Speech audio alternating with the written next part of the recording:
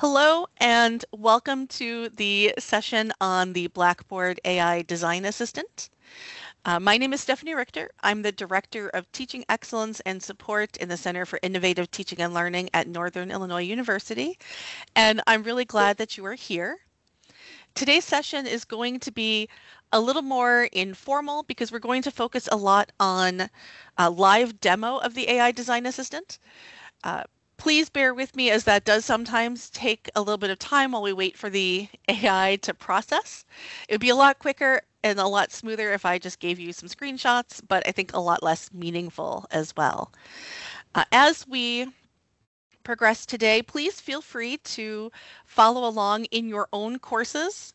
Uh, I would recommend not doing this in a live course. Uh, if you happen to have an older course, please feel free to start there. Or uh, the other thing I can show you quickly is how to request a new shell so that if you wanted to try this in a blank shell, you could do that there instead of doing it in your live course. So let's start there. For those of you who are uh, watching live or the recording and you're from NIU, let's quickly go through how to request a new shell in Blackboard. So I've gone to our our Blackboard homepage, webcourses.niu.edu, if you want to go directly. Your page will look a little bit different than mine. I have some um, admin components here that you won't have, but that's okay. To request a course, or to really to request a shell, which is what we want right now, go to the Tools tab, and then go to Blackboard Faculty Tools.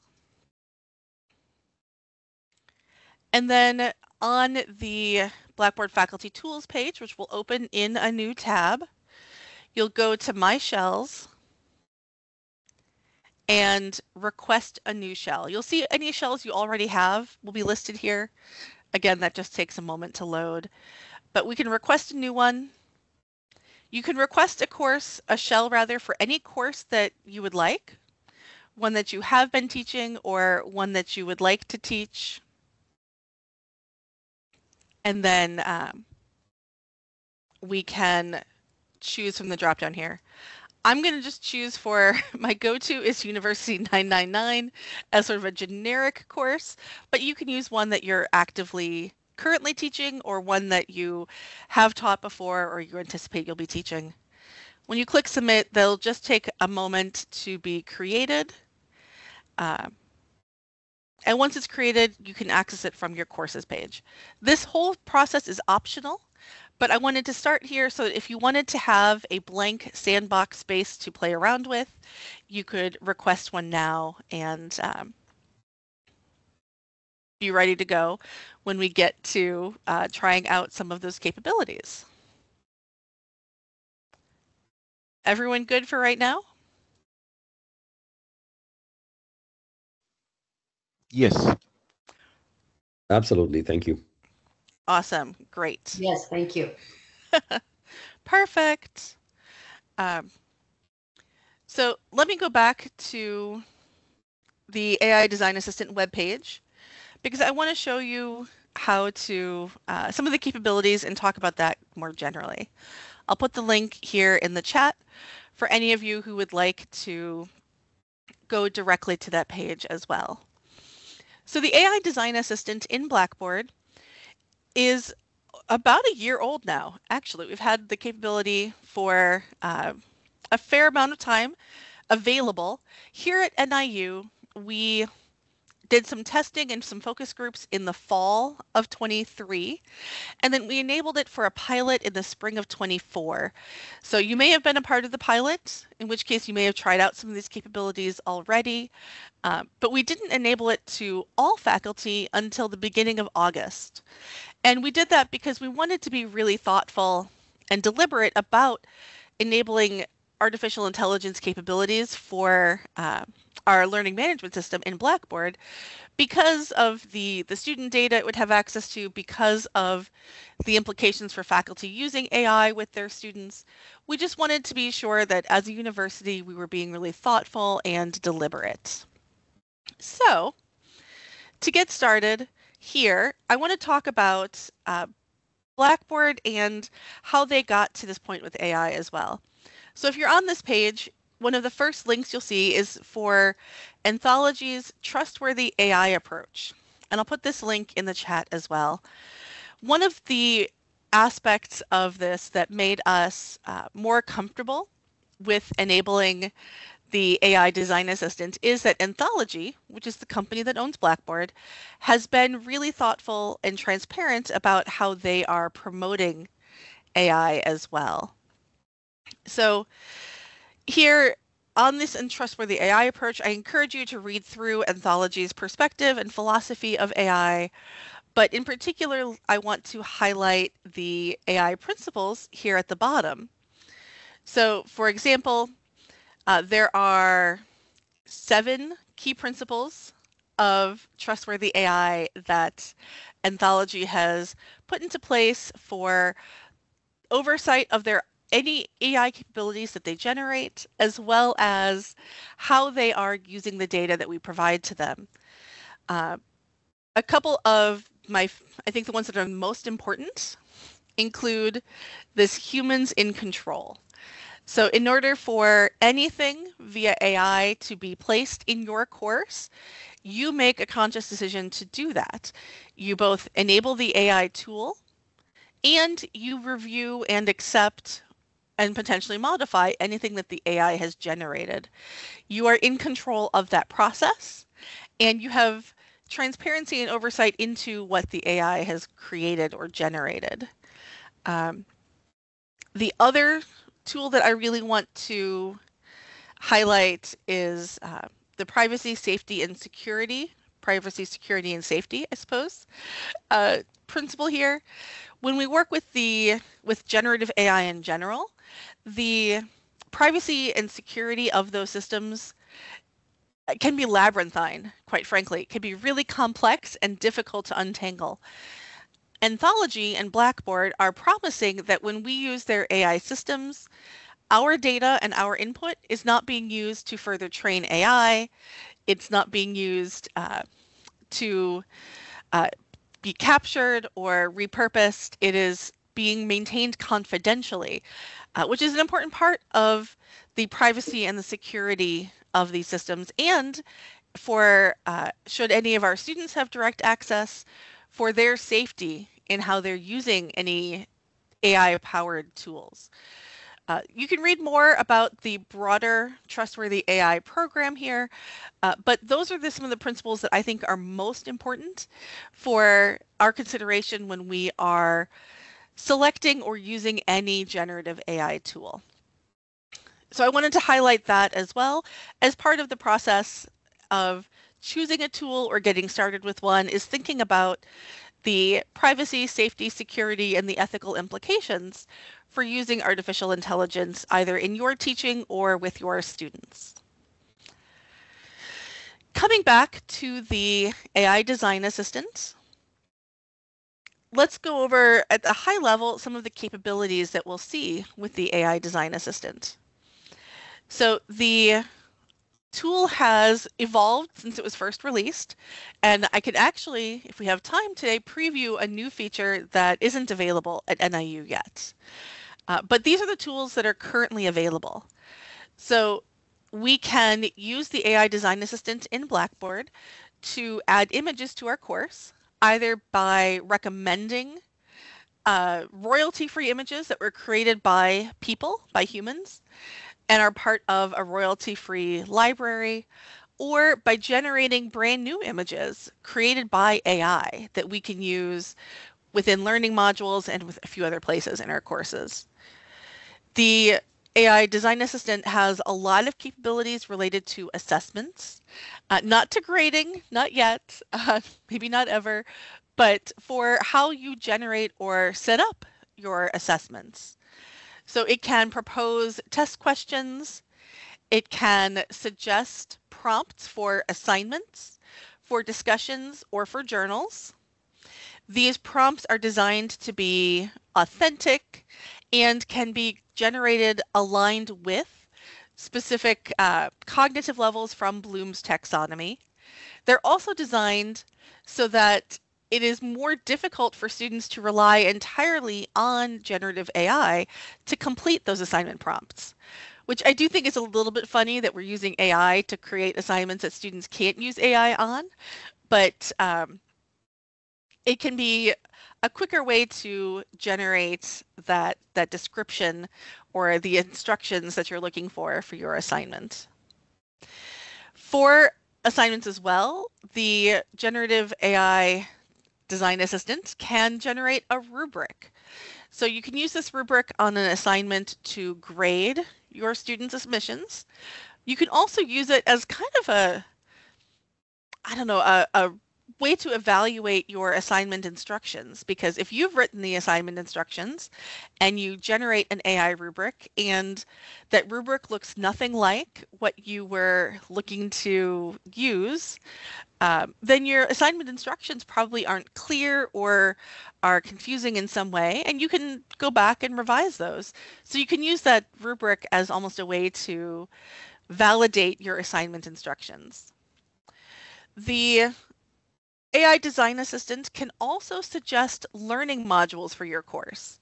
So based on specific learning objectives or based on your syllabus or a list of topics or just the name of your course, the AI Design Assistant can generate and suggest a list of modules you might include in your course.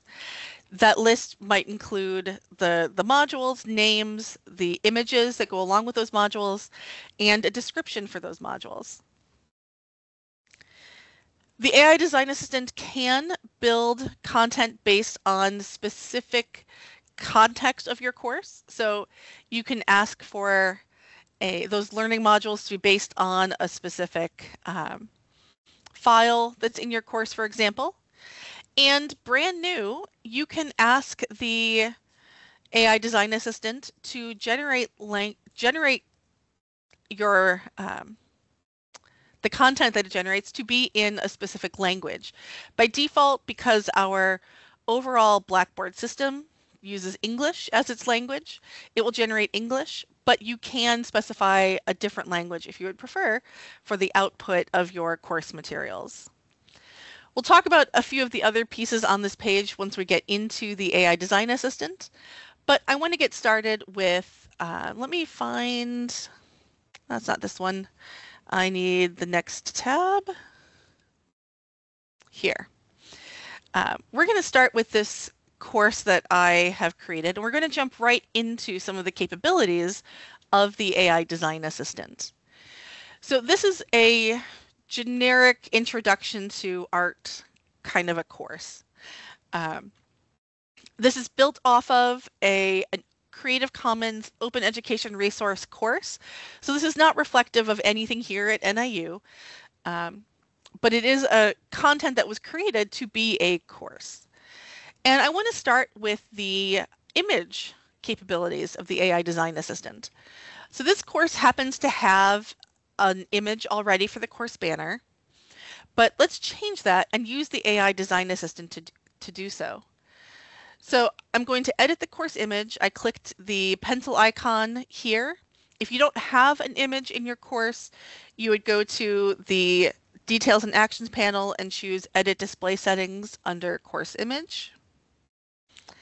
And then I'll click the image icon to choose an image from for my course image. I could, of course, upload something from my computer, but instead I want to go look at Unsplash. Now, what Unsplash is going to do, what the AI Design Assistant is going to do, is very small in this case. It used the context of my course to think that to decide that my banner probably should be related to art and design. It did so based primarily on the course title, and so instead of coming into an empty search uh, results, it gave me a recommended search term and I can choose from some of the images that it found. If I wanted to change that search term, I could, but it's pre-filling in that search. I'm going to choose the pencils here, kind of like those, and I'll position this kind of like that. And now I'll have a new course image. So as quickly as that, with a few seconds, I can find a new image to use for my course. Now, that's obviously a time saving over going and finding an image somewhere on the web. These are those images you find are all pre-licensed. They're royalty free, meaning you can use that in your course without violating copyright in any way, uh, which is much easier than trying to find those same types of images just generally on the web. But the other image capability is a little more impressive. Uh, I have a module that has a thumbnail image for my module one, but my module two doesn't have an image yet. So I'm going to edit my module two so that I can add an image. Down here at the bottom of the page is where the image for that module exists. I'm going to add an image, and this time I have three choices. I could upload my own image if I had one. I could find a stock image from Unsplash. Again, it would pre-fill in the search term based on the uh, description and title of that module. I can also ask it to generate images. So here, it's going to generate some images based on the same context, the title, and the description of my module. We'll wait to see what it generates. Um, based on that, if I like any of the images, I could use one, or I could describe a different image and ask it to create something different.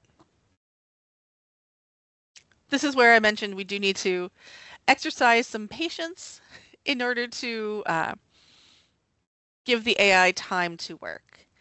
So if I liked any of these, I could choose one. If I didn't, I could describe something different. So let's make it a painting hanging in a museum is what I would like to use for this. We'll see what it comes up with.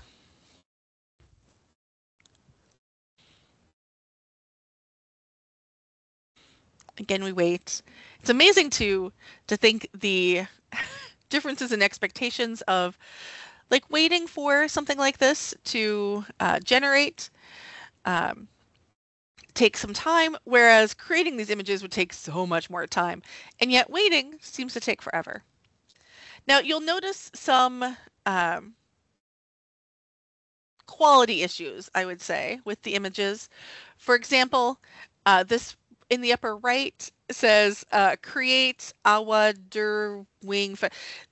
It's attempting to create to image of text, and that text is clearly wrong. Um, similarly, down here in the lower left, it's created some text on a wall that is clearly inaccurate. Um, it's not, sometimes they're not even letters, so that's not great. But I could choose one of the other two here if I liked those. Uh, I saw someone had their hand raised. Do you want to ask a question, yeah, make a it, comment? Sorry, Stephanie, to interrupt you yeah, already. No, please. Uh, it's just that um, I'm not sure if I missed it, but I'm trying mm-hmm. to follow you on my on the shell that I created. I don't have access to that menu of the images. Is that normal? Am I supposed to have access to that, or should I restart? Thank you. Uh, you should. If you've created, did you have a module created already? I have a module created. Yep, module one, okay. and it goes back to the old one. Like mod, and I, I went to module two to go with you, and it just basically mm-hmm. said the visible to students or invisible, and then the description. But I don't I don't see the menu under the description that you that you're seeing. You don't have the advance and sequence or the image. That's right. No. Interesting. Okay, uh, I may need to follow up with you afterwards because I don't know why that wouldn't appear for you if it's a shell that you just created. Um, you might try refreshing uh, if the if the Makes shell sense. wasn't Let maybe me... like fully baked. I guess. Yeah, yeah. Let, let think, me but... close and reopen uh, okay. Blackboard. So thank you and sorry, Stephanie. I just wanted no. because I'm following you and trying to create my images, but yeah, I'll share. That's quite all right. Please do interrupt. Um, let me go back to since I closed out my my images. Let's see what it generates this time. It should generate new images. While it happens, Chi Chen, did you want to ask something? Yeah, um, I I have modules in my course, and then I mm-hmm. try to have AI to generate images, and I put in accounting information systems, but they give me some like pick a photograph or pictures of trees. I mean, is that the prompt is not good enough? I, I don't see the relevance of trees, the sky, you know, and mm-hmm. with the accounting information systems. Nope, I don't either. I would say try uh, writing something a little more descriptive. So for example, you have accounting information systems. Do you think about what you might want to see? Do you want to see a person using a computer?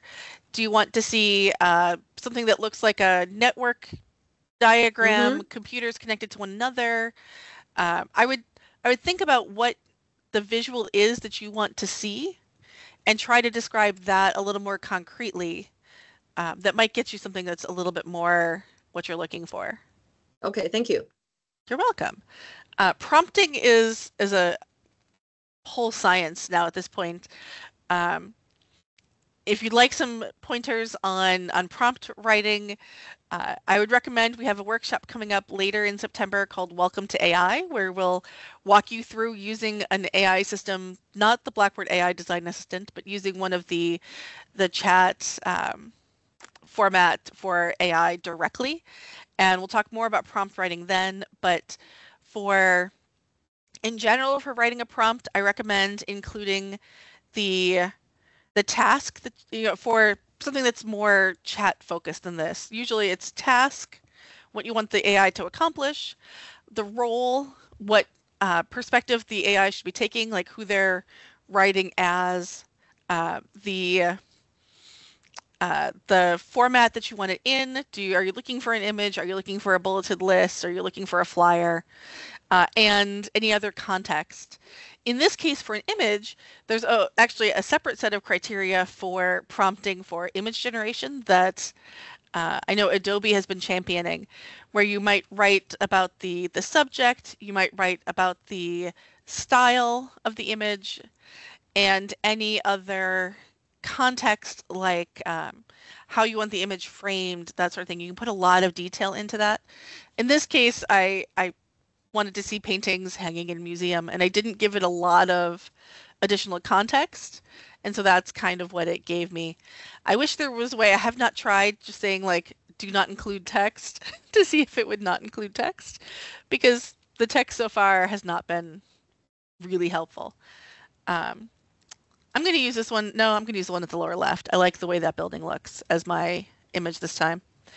When I choose the image, I can reframe it slightly. So for example, if I wanted to zoom in, I can zoom in, I can reframe this so it's a little more centered and save the image. It's also worth noting if the image that you use is going to convey content in any way, you should uncheck the mark image as descriptive and write some alternative text. In this case, I am just using it as a decorative element to add some visual interest to the page, so I'm okay leaving it marked as decorative. And then when I save, I'll have the uh, image here uh, in my module. So I can do that for each of my modules, or uh, I have a shortcut for that too. I'm going to switch courses for just a second because I, nope, I don't have them in here anymore, do I? Uh, I had a, a set of objectives I was hoping I would find, but that's okay. Um, let me go back to my courses and find that UNIV shell that I created.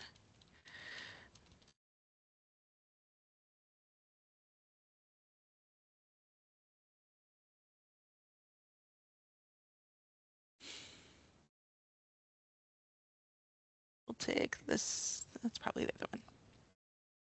I'm looking for a blank shell is what I wanted. That one's still old. We definitely don't want that one. We'll take this one. This one's blank. So when I have a completely blank course, uh, I can give it a name. For this example, I like using um,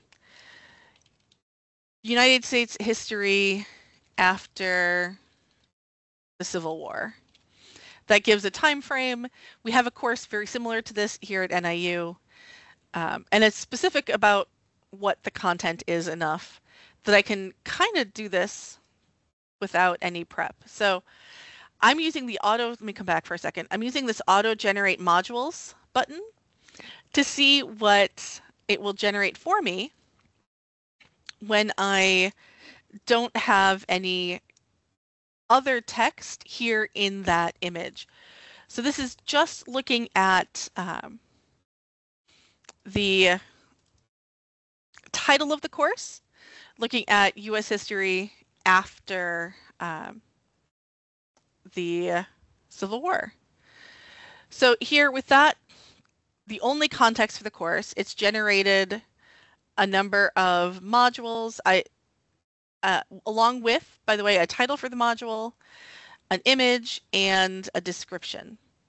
If I had course objectives for the course, I could put those into the description, or if I had a list of the topics, etc., I could put those in and have AI generate according to um, those expectations. By default, it's going to give me titles that are just the title. If I wanted those to include, for example, week one, module one, etc., I could choose a prefix. So I'll add a prefix. If I wanted to include images or not, I could choose or deselect this. Uh, and then now let's talk about complexity for a second, because complexity is its own uh, has its its own uh, frame of reference that I want to talk about. This is the first time we've seen complexity. The images didn't matter with complexity, but the content here does. And so there are 10 levels to complexity from 1 to 10. These are, I would say, an approximation. This is not exact. This is not to say if you were teaching a lower division course, you have to choose level 7. Uh, you might try at a couple of different levels to see what gets the results that you need. Uh, what's important to note is the higher levels that you use, uh, the more advanced or more complex the content will be. Whereas if you choose early levels, then you'll have something that is a little much more basic and elementary. So when you're using the complexity, I have to pick the right uh, screen to be on. Um, here, you'll see it kind of snaps. If I go all the way down, one, two, three, four, five, six, seven is about where the default is set. I can also go up higher, eight, nine, 10. So I'll keep it to about that, that seven. This would be probably a uh, 200 level course. And then I can also choose the number of modules that I want to have in my course the default is four. I'll set it to eight. Maybe we'll do a module every two weeks.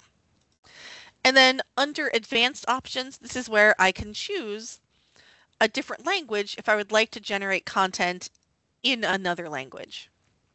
So I have choices there. Uh, unfortunately, I only really speak English. speak a little bit of a few other languages, but not enough to generate or do a workshop with those. We'll stick to English and I'll generate again. This time I'll have eight modules instead of four, and each module will start with module one, module two, module three.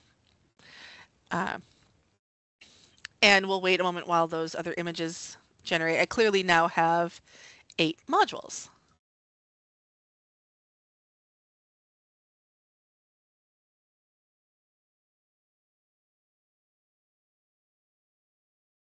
Now that this has generated, it looks like it may have had an issue with one image. We'll come back to, or two of them. We'll come back and try those again maybe another time. But it's worth noting that because this is auto-generated content, Blackboard reminds me that it needs to be checked for accuracy and bias. And I would need to select any of these that I want to include in my course. So if I didn't like one of these modules, I could not include it. Or um, I could include just one of them. I could include eight of them. Uh, I could ask it to only generate one module. If I needed one module on a specific topic, I might put that information here in the description and just get that one module. But when I click to add eight to course, now I will have eight modules already set up for me. Um, it would take a fair amount of time if you were to create each of these modules manually. Let's see, it's one for the plus, two for create, three to clicks to click learning module. I would need to type the title, the description. I would need to add the image and save it. So there's three clicks just to start creating a module and then the page of information to fill out about a module. And in a few minutes, Blackboard will do all of that work for me. And then it's also worth noting, I'm not sure that this image has much to do here. Certainly, I don't like that it has the text at the bottom that I know is going to be inaccurate uh, language. So if I want to change anything about the module that Blackboard created, I can click the three dots and edit, and then I can edit any aspect of this, including choosing a different image or having it generate more alternatives. So while I've accepted these as they were, I don't have to keep them either. I can delete them if I don't want them now that I've created them. I can edit them if I want to make any changes to it. Uh, so we've looked at the images, we've looked at now creating entire modules.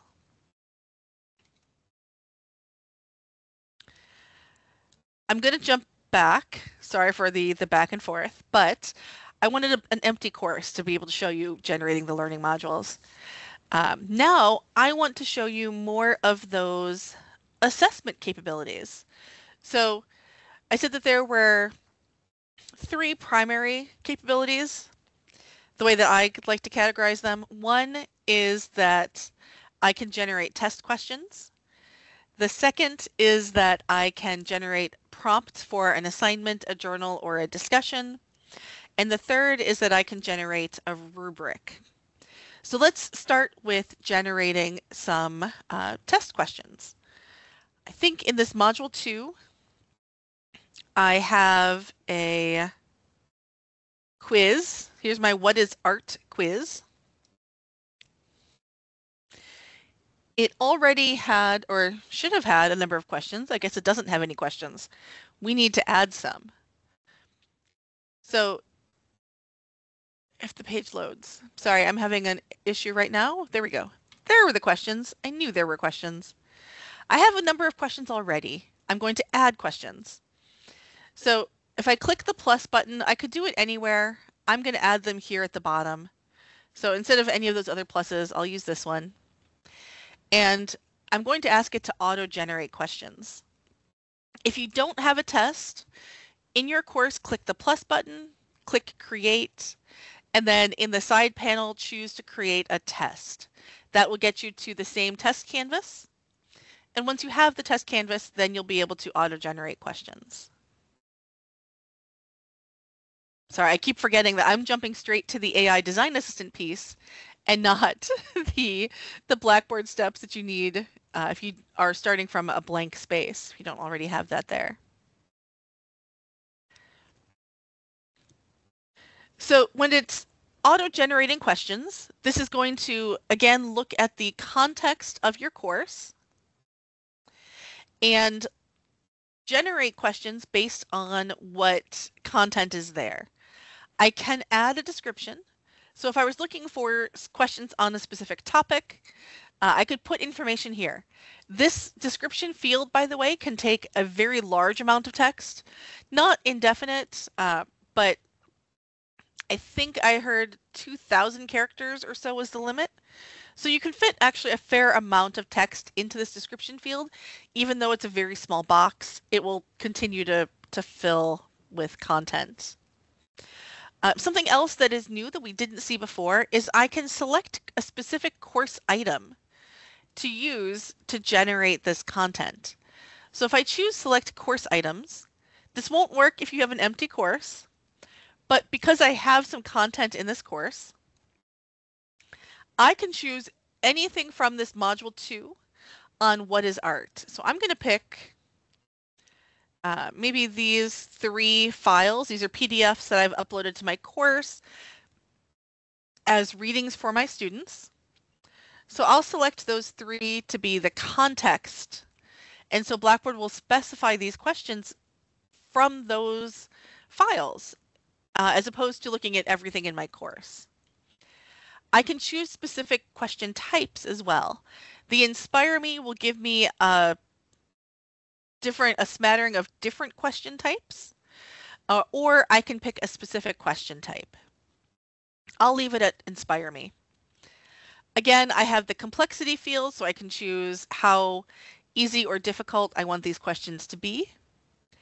And then I can specify a number of questions from 1 to 10.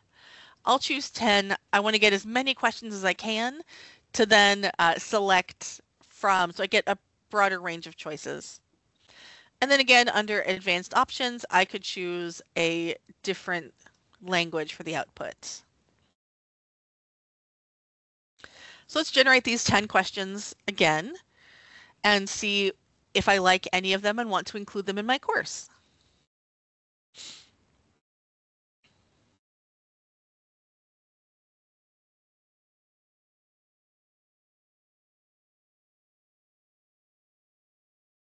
Again, this is the hardest part is waiting, waiting for it to generate.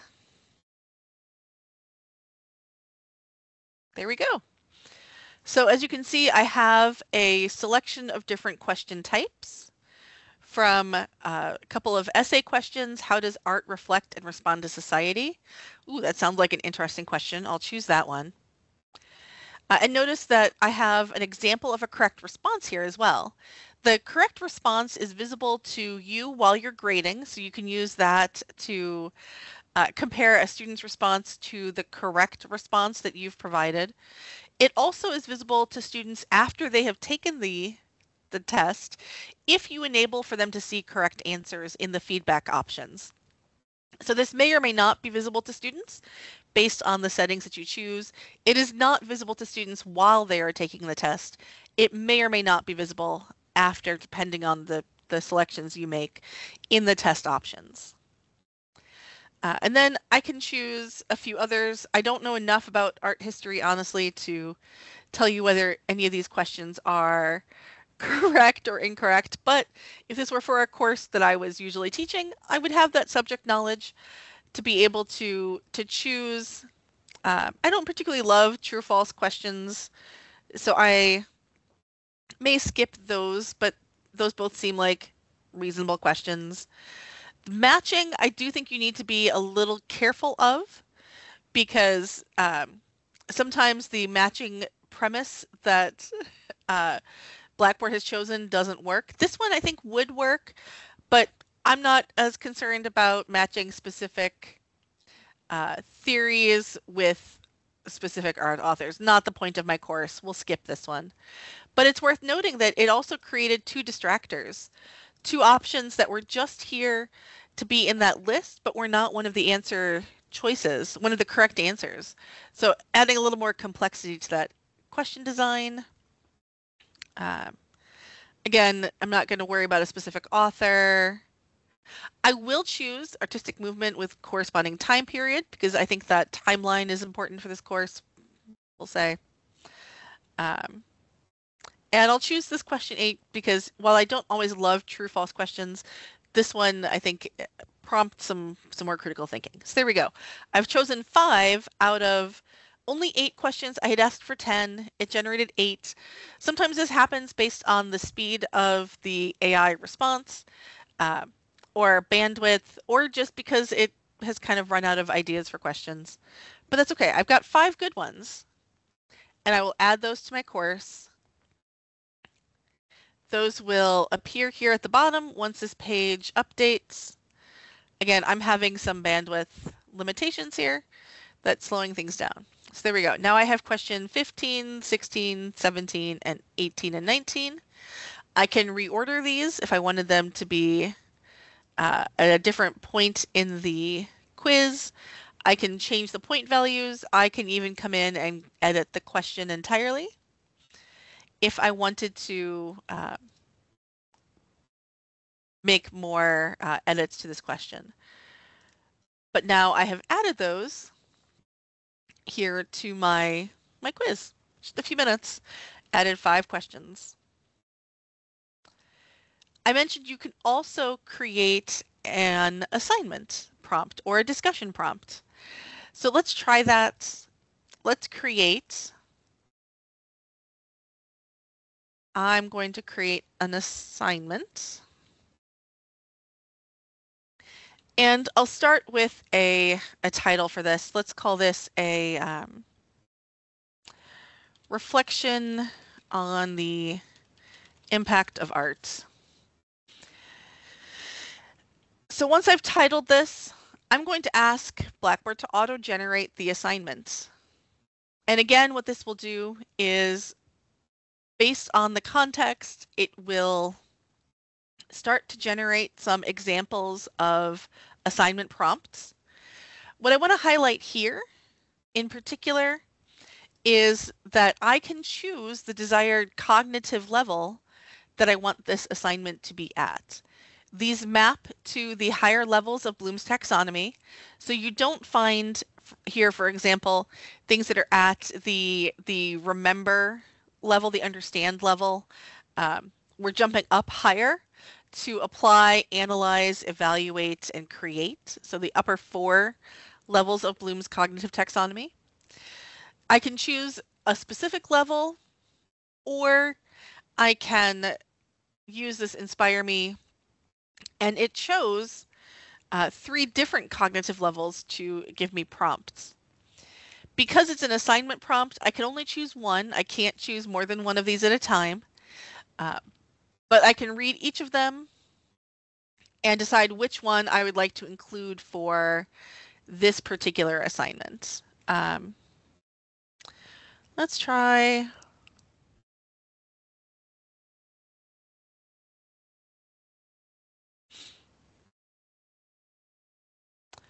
I'll just choose the first one, I think. Now, I'm going to choose that and add it to the assignments. I can edit this once I've created it. Um, so I'm going to do that by, let me just start by adding some paragraphs to make this a little bit easier to read. Um, kind of break this into three sections. So in the assignment prompt, one of the ways that they tried to make this a little AI resistant is by asking students to create either an essay, a photograph, a video, a presentation, or a podcast or speech. By giving choice, then uh, my students will have to think about the a mode or the modality that they would like to use to create this. And several of those are more difficult for them to use AI to just generate for them, um, which makes us, again, a little more AI resistant. It also asks them to very specifically consider aesthetic symbolism and techniques in the artwork that they choose, and to analyze the way that it has the power to shape perspectives, preconceptions, or social awareness, and share a personal experience related to the impact of art on your own life. So again, by trying to be really specific about the student's personal life, that's also creating a little more resistance to students using AI. So now I'm happy with this assignment. I, again, I created a really authentic, really interesting assignment prompt in a matter of minutes. And I want to generate a rubric for this assignment as well. So I'm going to open the assignment settings and I will jump down to using a grading rubric. When I go to add a grading rubric, I could choose one that's already here. I could create one, or I can ask AI to generate one, which is what I'll do. Here we have similar expectations uh, to, or similar settings from some of the other tools, but we also have some new ones. So rubrics in Blackboard can be either a percentage or point based. This one's going to by default be percentage based, but if I'd rather see points, I could make that change and regenerate. It also asks me how many columns I would like to see and how many rows. So by columns, those are these levels of, of uh, performance across the top from exceptional, proficient, competent, developing. And then the number of rows, right now it has four. How well they conveyed their message, how well they analyzed artistic elements, uh, their description of how it shaped perspectives, and the personal connection. Uh, these were all elements that were in the uh, assignment prompt. Now, if I am using this just to evaluate my instructions. Maybe this tells me that I was missing some information about the format of the assignment or uh, something like that that didn't make it into the rubric. But if I wanted to use this one, I'm going to just continue. And from here, I can then also edit any element of this, like maybe instead of message conveyance, um, I'm going to uh, choose instead um, uh, coherence of arguments, which is not a very useful way to phrase it, but right now that's all that's coming to me. Um, but I can change the overall weights. This happens to have weighted that overall message higher than it did some of these other levels, so I could modify those. If I didn't like any of these terms, I could change those as well, but for now I'll save. And then I will choose to add that rubric to this assignment. So now when I grade student submissions, I will be grading it against the um, rubric that AI generated for me. I can do the same thing with a discussion or with a, a journal to go through the same steps of creating that uh, that prompt.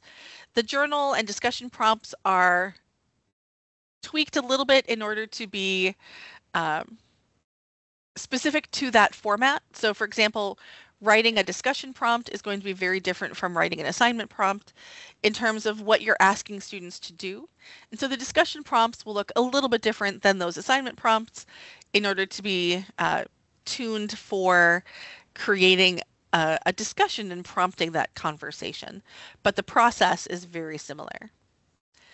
Um, those are, if we come back here to revisit, those are the capabilities that are currently available in the AI Design Assistant. It can recommend images, it can generate new images, it can propose test questions, it can suggest prompts for assignments or discussion in journals. It can generate a rubric as well. Uh, we looked at, and it can generate learning modules overall for our course. We also looked at the context picker that lets us choose specific content of our course in order to uh, generate items based on that content specifically. And we can use that context picker in a number of, not all of, but a number of those design capabilities, such as generating um, the test questions, assignment prompts, uh, etc. You cannot use the context picker for um, some of the others like I, I don't believe it was there when we were generating learning module images. It uses the learning module as context automatically. I want to stop there while we have a few minutes left to see if there are any questions about the AI Design Assistant capabilities, how you might use it, um, or any concerns about or questions about AI in general.